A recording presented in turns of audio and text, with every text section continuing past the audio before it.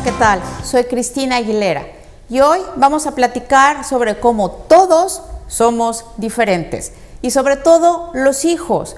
Los hijos son todos diferentes, todos somos únicos e irrepetibles. Entonces, no podemos tratar a todos los hijos igual, tenemos que tratarlos a cada uno de forma diferente. Cuando un papá dice, es que yo a todos mis hijos los trato igual, es el peor error que pueden cometer. No los podemos tratar a todos y por igual porque cada uno de ellos es diferente y cada uno de ellos necesita cosas diferentes y hay que seguir estrategias diferentes para que nos hagan caso, para que nos obedezcan, para que estén bien educados, sigan las reglas de la casa y sigan todo lo que nosotros queremos hacer de ellos.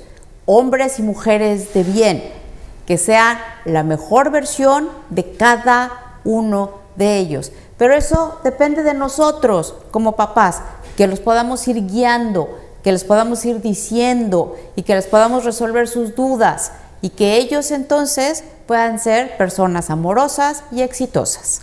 Gracias.